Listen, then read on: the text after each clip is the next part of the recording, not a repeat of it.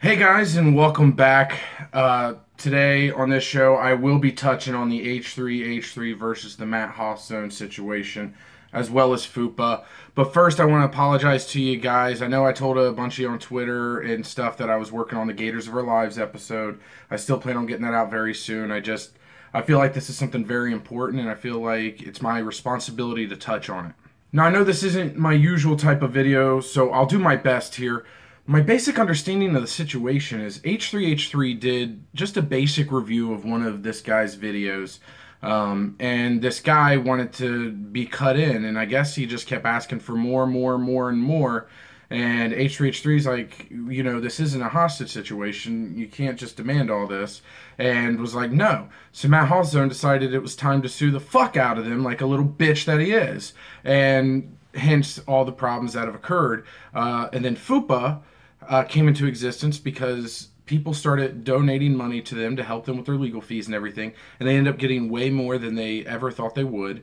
So they're taking all that excess money putting it into this you know this account or whatever the fupa account um, to help out other youtubers when the same situation arises um, which is such a great thing uh, for all of us to have out there for us, and such a great thing to witness all these YouTubers come together. Now, there's only two possible explanations that I could come up with that this Matt Hoss is doing this shit.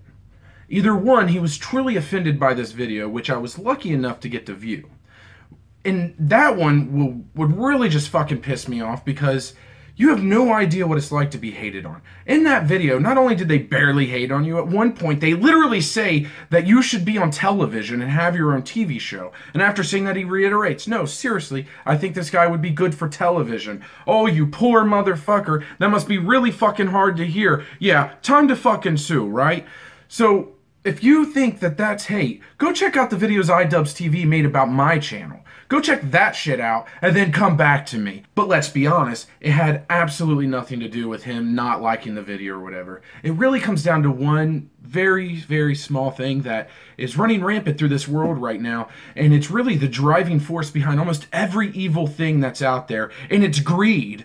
Greed is a virus that is sweeping through this world at a rapid pace, and now you're seeing it on YouTube. At first, it was just all these big organizations uh, coming in and doing all these copyright strikes and everything, and that's all we had to deal with. Now it's YouTuber on YouTuber, which is just stupid. We're supposed to stand together, not attack each other. You're a greedy son of a bitch, and it's pathetic. I mean, how much money are they really going to make off that one video anyways? Maybe a couple hundred bucks? I tell you what, Matt Hoss, drop the fucking lawsuit.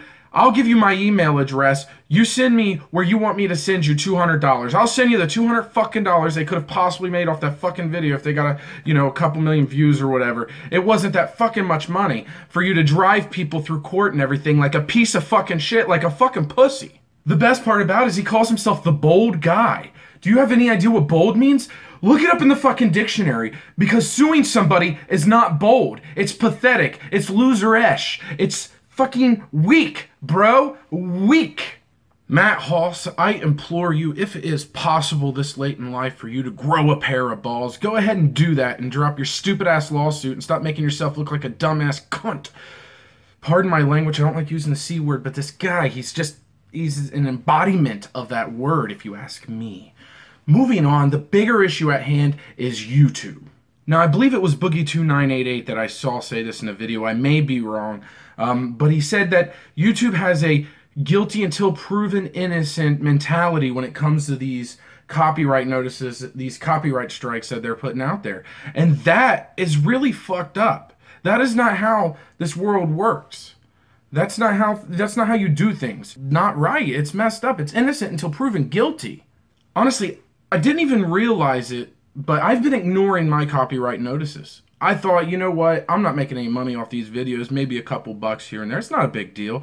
But then I'm starting to think about it.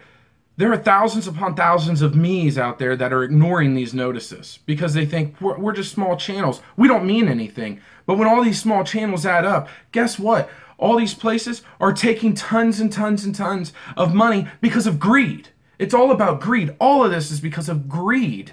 It's fucking horrible and it's sad. And I can't believe that's where we're at right now. We're beyond this as a freaking species. We are beyond this. I'll go over a few of my copyright notices. I took a video uh, where you know hot dogs are made, and I put it down, and I did a voiceover the entire thing, and I made up my own music with it and all that stuff, and I was trying to be funny, you know, did my own little thing. That got a copy strike notice. I had another video where I talk about how I got new glasses, and for about 10 seconds, I inputted, I think, a Justin Bieber song or something, being goofy, a copyright notice. I did a weird lip singing thing where I did a lot of editing and stuff, make myself look really weird, but I did use a popular song, copy strike editing. I, or copy notice, whatever the fuck you want to call it. I used a song from Grease that you can barely freaking hear in a video called Office Dance Party, which no one watches it because the Grease song is in there. They watch it because it's one of the cringiest videos on YouTube, and we're dancing like a bunch of hooligans from 2002, 2005, whatever.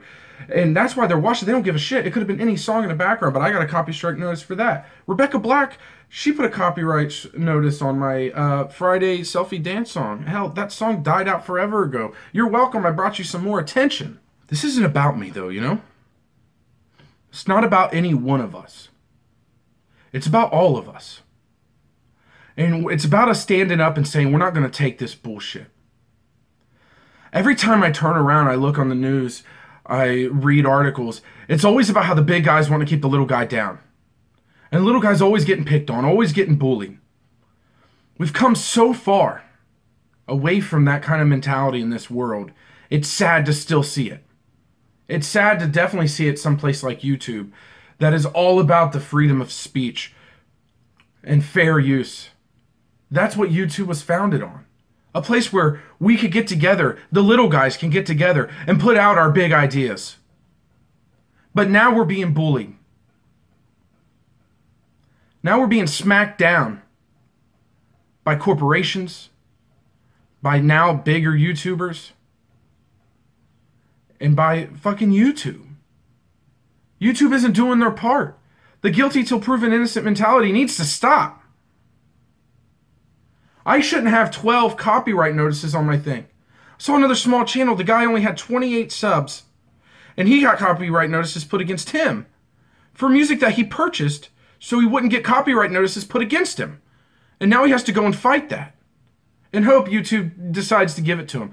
I sent YouTube a message on why one of my videos had a notice on it, and that was a week ago. I just wanted to know why. I didn't even ask them to turn it over. I just said, hey, can you just explain to me why there's a notice on it? Because they didn't tell me why I wasn't able to monetize that video. I just wasn't allowed. It was a haters gonna hate video of all videos. Where all I'm doing is reading hate comments. I don't even understand how that could be copyright noticed, but it was. And I've yet to get a message back. And this is the problem. This is the problem that we're all facing. And unless we stand up, unless we say something, nothing will change. There will be no difference made. Don't make a difference, be the difference. If you want to change something, you have to make your voice heard. That's why everyone's making these videos because they're tired of this. I'm tired of reading how this is happening to everybody. Honestly, I don't give a shit about myself. I give a shit about all these people out there, these creators out there that are putting their blood, sweat, and tears into this shit. I spend maybe an hour a week on this because I don't have that much time to put towards it. But these other people are spending 40 hours a week sometimes dealing with this stuff and putting together these magnificent videos just to be copyright noticed about it and have to fight tooth and nail to get paid on it and hope, please, please, God, let, us hope that I don't get sued by somebody for this. All because they just want to make some content to entertain some people and to show off their artistic abilities. It's pathetic. It's pathetic that this is allowed to go on and it needs to stop. And Matt Hoss, you're part of the problem. You're not part of the solution. You're a huge part of the problem. You're tipping the scales in the wrong direction. Get your shit together and stop being a fucking pussy. It's pathetic. It's sad. And I gotta stop here because I can't deal with this. This is why I don't do videos like this because when I truly care about something, I get too upset about it because it's pathetic. I hate watching smaller people be picked on. I hate watching people who are doing absolutely nothing wrong have to pay consequences for it. They're raising hundreds of thousands of dollars to help with lawyer fees. We could be raising hundreds of thousands of dollars to help with poor people, homeless people, people who actually need some fucking help. But instead, we're too busy looking out for our own backs to make sure we don't lose everything that we've worked hard for because of people like you, Matt Hoss, because of people like you. Get your shit together. It's sad, it's pathetic. I'm sorry, I really gotta end this. Thank you guys so much for watching. As always, I've been Gator. You guys have been great. I'll try to get Gators of Our Lives out very soon, guys. Don't let this shit happen. Stand up, guys. Speak out. Like I said, don't make a difference, be the difference. That's how you really make a change in this world. Peace.